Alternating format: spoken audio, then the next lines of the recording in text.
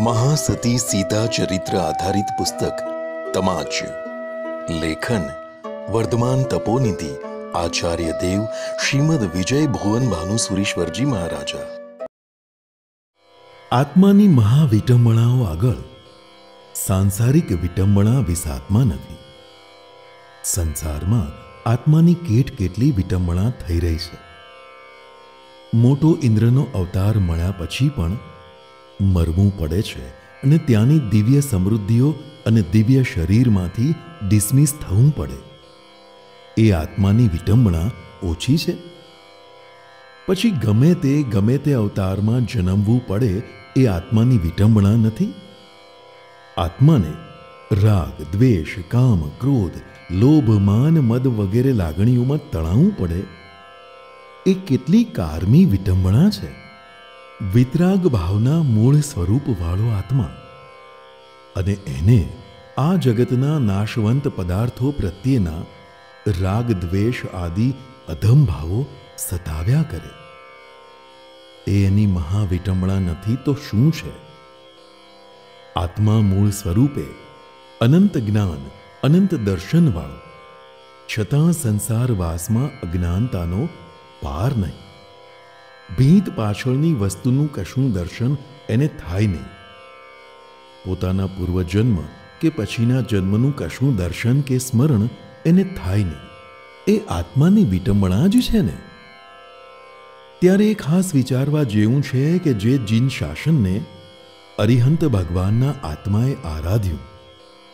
મોટા સમ્રાટ, રાજા, રાજકુમારો અને શેઠ શાહુકારોએ આરાધ્યું. એ જીન શાસન આપણને મળવા છતાં હજી એના એક એક કષ્ટમય માર્ગ પર એવી શ્રદ્ધા ન થાય? આ જ આરાધવા યોગ્ય છે એમ ન લાગે?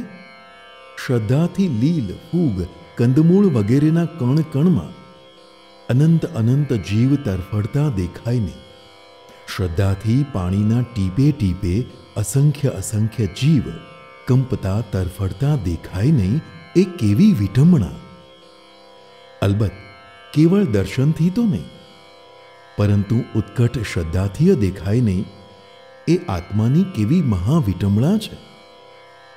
એમ આત્માના મૂળ સ્વરૂપમાં અનંતું સુખ ભર્યું છે.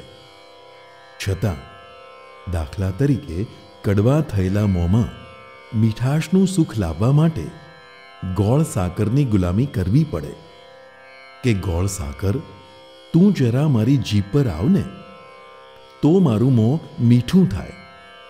એમ એક એક ઇન્દ્રિયના મનગમતા વિષયોના સુખ માટે ગુલામી કરવી પડે કે તમે મારી ઇન્દ્રિયોના સંપર્કમાં આવો ને આ ઓછી વિટંબણા છે? અનંત સુખનો માલિક જીવ.